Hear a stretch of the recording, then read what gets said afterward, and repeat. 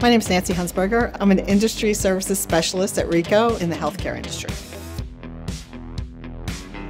When we talk to our customers, they talk about having too much information. Over 60% of that is trapped in unstructured data.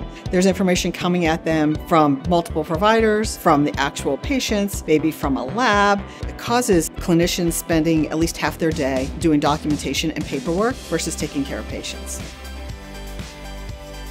So we often wonder, what if we could untrap that data and what could we do if that data was available when we needed it? Ricoh has the ability to take that information and use technology to put it in a single pane of glass so that the provider and the patient can both see it. You have to think about a patient's journey and the continuum of care.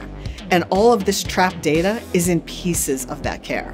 The pre-admission, the admission, the PCP visit, the specialty visit, the acute care visit.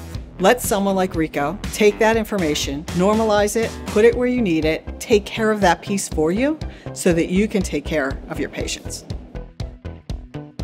I think it's an exciting time for healthcare, an exciting time for our customers and for Ricoh because we have the ability to take all of this information and accumulate that with the technology we have today to make their experience better AI, computer learning. It's exciting 3D printing that you can look at a model of what you were going to do and be able to show it to your patient so they totally understand what's going to happen. So all of those are possible. As that information comes together and you analyze it, who knows what the next step will be.